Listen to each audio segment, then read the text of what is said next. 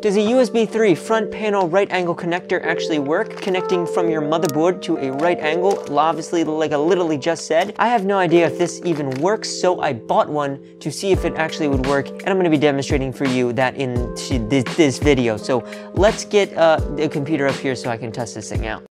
Haha, actually just kidding, let's take a look at it. So here is this one side. Now there is two variants of this connector. There is this way, and then there's also this way. And you might be wondering, Zack, what's the difference between them? It is the way that this notch right here is located. You can actually have it going the other way. For instance, a right angle going off to the left. Do you understand? There you go. So it works pretty well. Anyway, this is the adapter. I think there's 20 pins total. Hold on, let me count them. There's 19 and there's actually like a pin missing in the corner and that's normal. That's how it's supposed to be. Anyway, this is the other side. It's a pretty easy like uh, construction here. It's got like a PCB right there and it's just soldered connected on either side. And so it's also got some foam up here so you can rest like a graphics card on top of that. That's what I'm gonna be doing with mine. Actually, why don't I just show you uh, the computer and everything, the problem about it. So this is an HP Pro desktop and as you can see here it is the beautiful internals. Now if we take a close look inside to uh, right here, here is the USB front panel connector and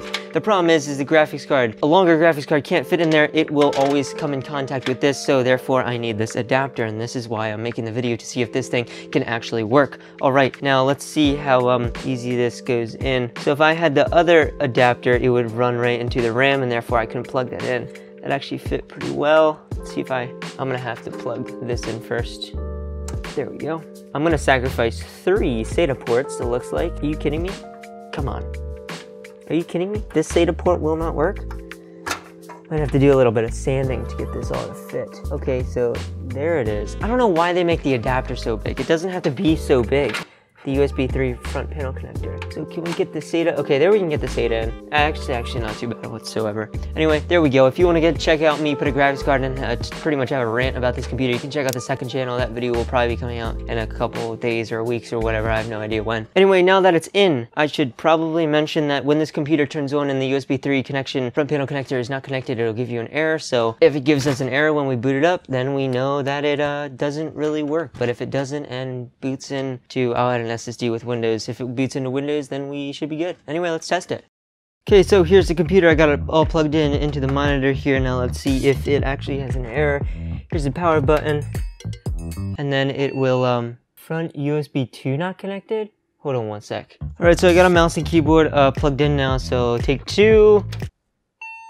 Really? What's, what's your issue this time? Does this connect both the USB 2s and 3s? Why would it do that? Okay, let's see if it works normally. Okay, so I'm just taking off this uh, oh goodness, come on. I'm completely removing the pins from the plastic. Duh.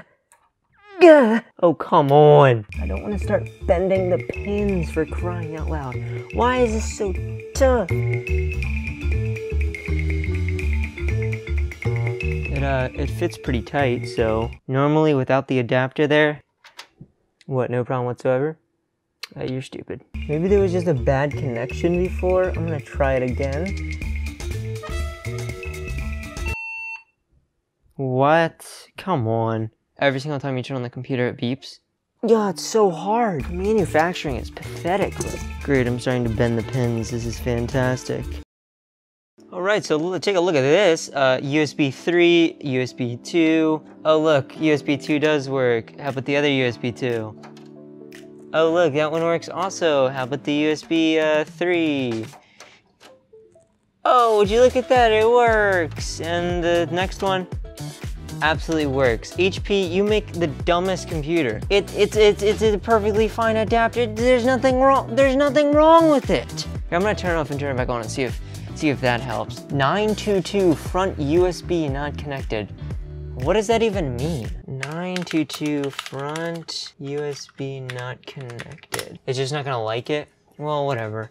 That does still mean the adapter actually still works, but that means it's just, it's stupid. So if you had an okay motherboard like anything that's not this OEM crap, uh, it would probably totally easily work. So yeah, this actually does work as I have demonstrated with the USB drive and it actually works fine. Interesting. Uh, so there are two variants of these. If you want to go check them out, link in the description, you can check them out. This has been a video testing out the USB front panel right angle connector to see if it actually works. And the answer is yes, it does except for some OEM pre-built, it will give you unnecessary uh, beeping noises at the start of every boot, and then you have to press F1. Can you get around this? There's probably a way with some ground wire to wire and do some modifications, but I honestly don't feel like doing that much work, and uh, I kind of have a simple fix, just never turn off your computer. Anyway, that is pretty much the end of the testing. Uh, this was like a HP Pro desktop, and that's pretty much it. If you want to pick one up, like I said, uh, links down in the description. Anyway, with that being said, be sure to like, comment, and